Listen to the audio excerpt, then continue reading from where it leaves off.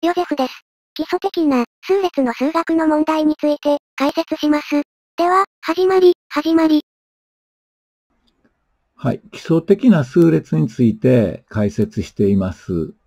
一応第2段階に入っていろいろな数列について解説しているのですが、今回は2の丸2ということで、ちょっと分数が混ざったような数列の和を求める計算について説明します。いかがでしょう？何のことを言ってるか、キーワードが思い浮かぶといいんですけれども。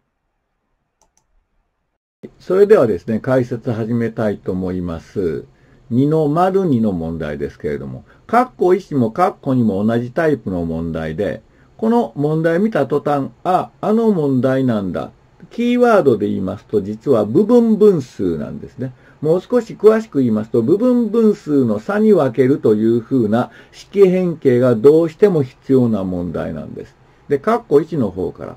与えられた式を数列の和と考えます。まあ、そんなあの基礎的なというか当たり前のこと模範解答には絶対書いてないんですけども、まあそう書いた方が理屈の上では正しいなと思うので、私が書きました。与えられた式を数列の和と考える。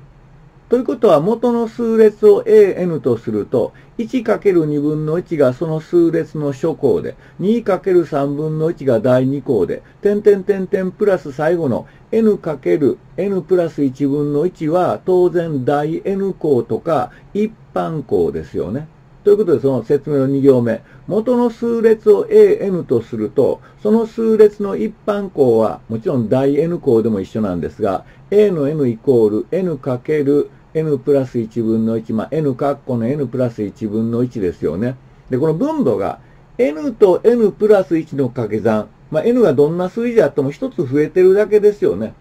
まあ、自然数で。隣り合った自然数の積なんですね。えー、で、この a、n って書きましたけど、a の n って書きましたが、当然大傾向だったら a の k ですよね。で、分母が k、括弧の k プラス1分の、で、分子1。これはもう、式変形は決まってます。で、k 分の1マイナス k プラス1分の1と式変形できるんです。で、参考として、この式変形は部分分数の差に分ける式変形。だから、部分分数の差に分けると、みたいな説明が書いてある参考書あるんですけども、で、元の数列の一般項が a の n イコール n 括弧の n プラス1分の1であることから、それを見た途端、ああ、部分分数にのことを考えたらいいんだっていうふうに思い浮かぶことになっています。思いつくはずであるということになっています。あの、お決まりの式変形なので、練習したら誰でも思いつきます。ところで、大傾向を a の k イコール k 括弧の k プラス1分の1と置きましたけども、この問題の場合、a の n イコール、えー、n 括弧の n プラス1分の1のままで計算を進めていきますと、ちょっとあの、数学的にわけのわからない式を書くことになってしまうので、意識的に大傾向というふうに置いてください。式変形してください。さて、回答ですが、与えられた式を数列 an の和と考えると求めるは sn は、まあ、自分で勝手に an とか sn を使いたいので、まあ、一行だけでいいのでちょっと断り書きをします。すると s の n というのはシグマで k イコール1から n までの a の k で、その a の k のところは k 括弧の k プラス1分の1で、そこの部分は2つの分数の差に分けられます。括弧 k 分の1マイナス k プラス1分の1括弧閉じるですよね。その時ですね、シグマの記号が使われているからといって、あの和の公式を使うわけではないんです。だいたいシグマの横にですね、k とか k の2乗とか k の3乗、または定数、えー、k に関係のない文字、そのぐらいじゃないと和の公式は使いようがないんですね。k 分の1とか、えー、k プラス1分の1なんか最初から公式なんかないんですよ。このことを勘違いしないでください、ね。だから、和の公式というのは使える範囲はとても狭いです。で今の場合、和の公式は使えません。じゃあどうすればいいか ?K のところに1、2、3と最後 N まで順番に当てはめていって全部足したらいいだけの話です。で、地道に計算するんですが、書いてみたらもう答え見えてくるんですよ。よろしいですか ?k 分の1マイナス k プラス1分の1の k のところに1、2、3と順番に入れていきます。最初1を入れると1分の1マイナス2分の1。2を入れたら2分の1マイナス3分の1。3を入れたら3分の1マイナス3あ4分の1。プラス点点点点点。プラス、その次、k の場所に n マイナス1を入れると、n マイナス1分の1、マイナス、そう計算したら n 分の1ですよね。で、最後、k の場所に n を入れて、n 分の1マイナス n プラス1分の1です。この2行目の式をよーく見てください。もうカッコ外してみてほしいんです。カッコの前についての全部プラスの符号ですから、そのカッコはあってもなくても大丈夫ですね。一番左足の1分の1はちょっと置いといて、その次のマイナス2分の1のと、その次のプラス2分の1がちょうど消えてなくなってくれます。わざと書いときましたけど、1分の1プラスカッコのマイナス2分の1プラス2分の1カッコを閉じる。次、マイナス3分の1とプラス3分の1をセットです、ね、ペアにするんです。で、プラスカッコのマイナス3分の1、プラス3分の1、カッコ閉じる、プラス点点点。まあ、途中は全部書けませんから。で、最後の方はですね、えー、っと、マイナス n 分の1と、プラス n 分の1を一つの組にね、ペアにします。で、カッコにくくりました。で、右端の最後の最後のマイナス n プラス1分の1は、まあ、そのまま一つで書いておきます。で、カッコでくくった二つ一組のところは全部、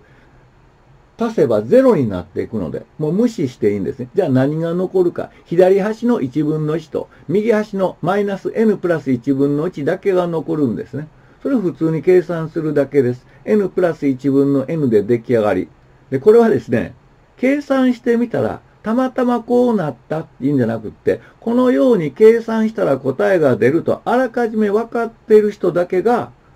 できる計算なんです。だ計算なんですけども、ほとんど式変形ですよね。勝負はどこで決まるかそれは k 括弧 k プラス1分の1を k 分の1マイナス k プラス1分の1というふうに部分分数の差に式変形できるかどうかでも勝負決まってしまいました。なんか難しいこと言ってるように感じると思うんですが、この問題を見ると私思い出す問題がありまして、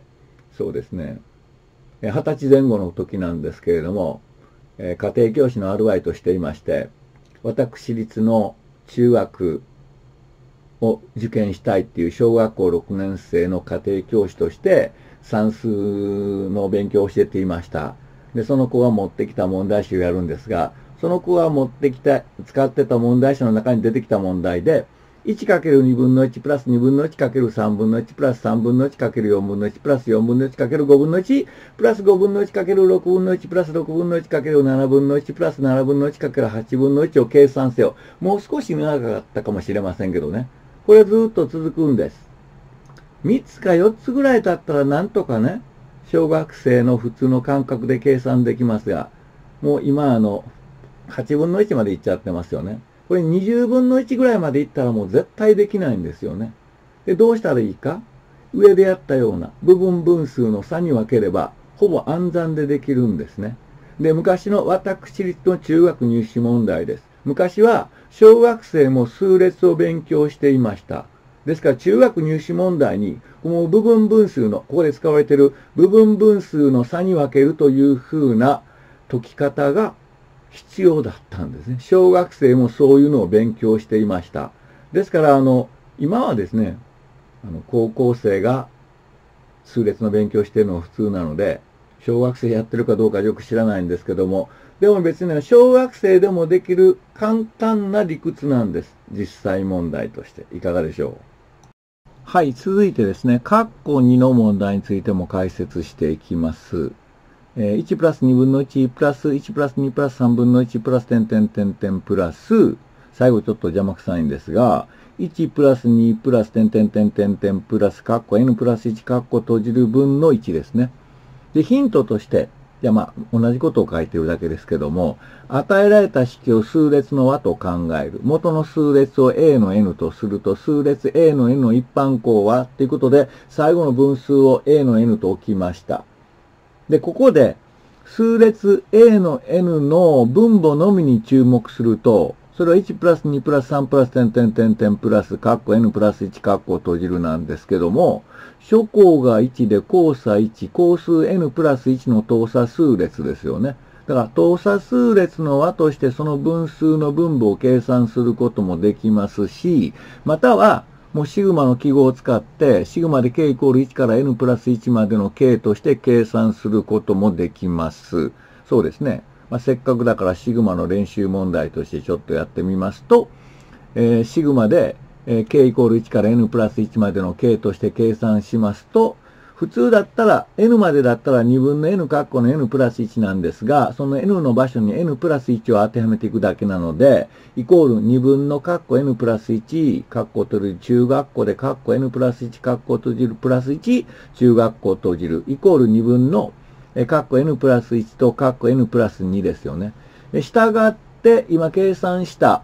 あの、分母のところをですね、元の式に当てはめます。従って a のイコール点点点点イコール2分の括弧 n プラス1括弧 n プラス2分の1。だから分数の中にまた分数が入ってきてちょっとややこしいんですが、その分数の中にまた分数が入ってきている分数の分母分子に2をかけまして、その次の行ですが、括弧 n プラス1、括弧 n プラス2分の2ですね。で、ここで2は前に出しておいて、分母を見ますと、n プラス 1×n プラス2、連続した自然数ですよね。連続した自然数の積というのがですね、分母の場合、2つの分数の差に分けることができるんです。2はちょっと脇に置いといて、2括弧の n プラス1分の1、マイナス n プラス2分の1ですね。で、当然、大傾向も自分で式変形できます。A の K というのは2括弧の K プラス1分の1マイナス K プラス2分の1です。で、これはまあ準備なんですよ。こういうことできるなっていうのを自分でちょっとあらかじめ、うん、確認しておいて、ここからちょっと、えー、答案っぽく書いておきます。えー、どんな風に書きます？ちょっと失敗しますか？はい。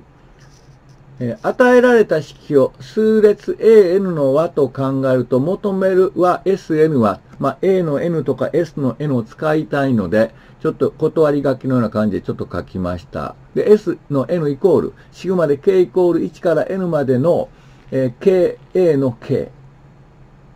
そうですよね。求めるは s の n。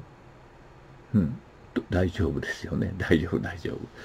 ここでですね、え、n じゃなくて n プラス1だったのかなと一瞬迷うんですが、あ大丈夫なんです。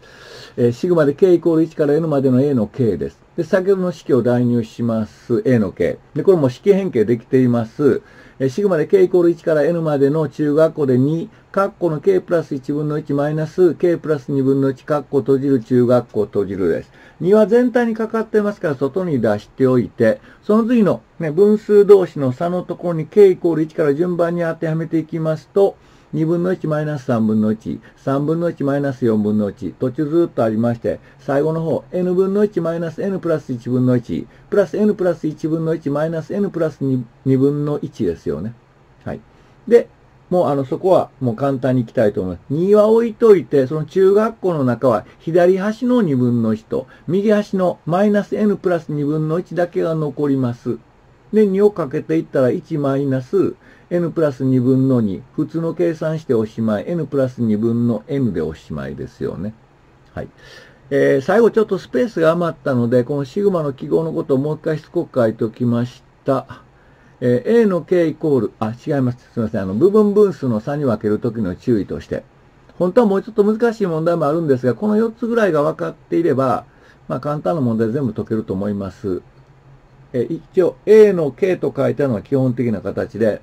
k かける k プラス1分の1だったら、それは k 分の1マイナス k プラス1分の1と部分分数の差に変形できます。b の k を見てる、これ k じゃなくて k プラス1と k プラス2。まあ、どちらもですね、連続した自然数の積なんです。ですから、その場合やったら、k プラス1分の1マイナス k プラス2分の1です。その時 c の k というのは、分子が1以外の数字、まあ今の場合もですね、2があったんですが、例えば m が分子についていたら、その m を横に出して、m 括弧の k 分の1、マイナス k プラス1分の1。d の k というのは、まあ分母も分子も、k に関係のない文字とか数字がくっついていて、p 倍の k 括弧の k プラス1分の9とかだったら、p とか9はただの数字なんですよ。すると p 分の9というふうに、その数字を横に置いといて、括弧して、k 分の1マイナス k プラス1分の1というふうに、部分分数の差に分ければ、ひたすら計算するだけでもう答え出てきてしまうという、そういう感じの説明でした。いかがでしたでしょう？最後までご視聴いただき、ありがとうございました。いいね、と、チャンネル登録を、よろしくお願いします。ヨゼフでした。さよなら、さよなら、さよなら。